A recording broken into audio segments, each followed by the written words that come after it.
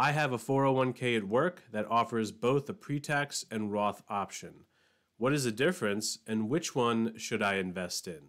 Great question, relevant to all of us with company retirement plans, all of us with access to IRAs. How do we decide between the traditional and the Roth option? So here's my answer. When we talk about traditional versus Roth, we are talking about an account's tax status. Both of these accounts are retirement accounts, which means that they will grow tax deferred, but they also have special tax benefits in the form of tax breaks. Now, when you get those tax breaks is the main difference between a pre tax, traditional, and a Roth. I want to make this very clear before we move on. Pre tax and Roth refer to the type of account that you're investing in, the tax status of that account.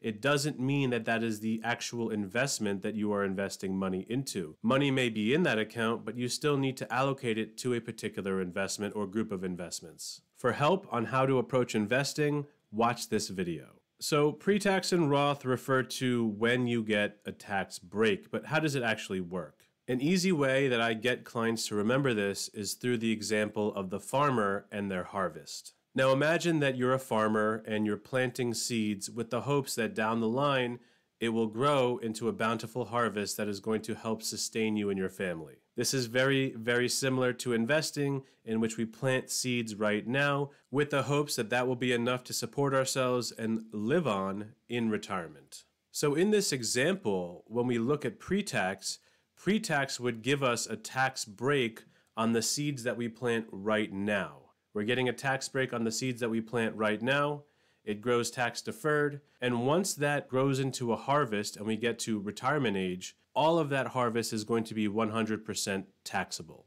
So again, tax break on the seed now and getting a tax on the harvest, all of the harvest later on in retirement. In this example for Roth, Roth would refer to the fact that you don't get a tax break on the seed now. It also grows tax deferred because it is a retirement account.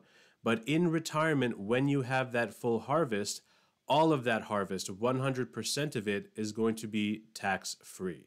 So Roth refers to no tax break on the seed now, but a 100% tax free harvest later on in retirement. So I hope that example cleared it up. And essentially, what you're trying to decide on is if you want a tax break now versus a tax break later on in life. A tax break on the seed versus a tax break on the harvest. So now that we understand the differences, which one should I invest in? Which one should I choose? As always, it depends. It depends on if you think your taxes in retirement will be higher or lower than they are right now. And here's the thing no one has a crystal ball, no one knows what tax rates will be in the future.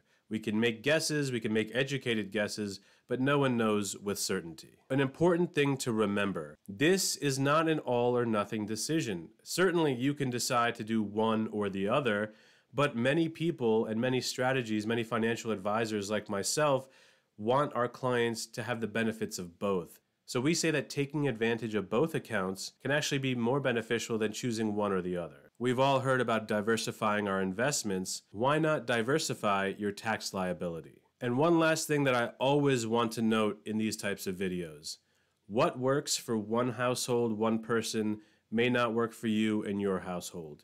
Everybody's situation is different and unique, and you need personalized advice that will help you and your family get the best advice for yourselves. At the end of the day, these choices and decisions need to be made based on your full financial context and what you're trying to accomplish. It shouldn't involve what other people are doing because their situation is different and it doesn't pertain to you.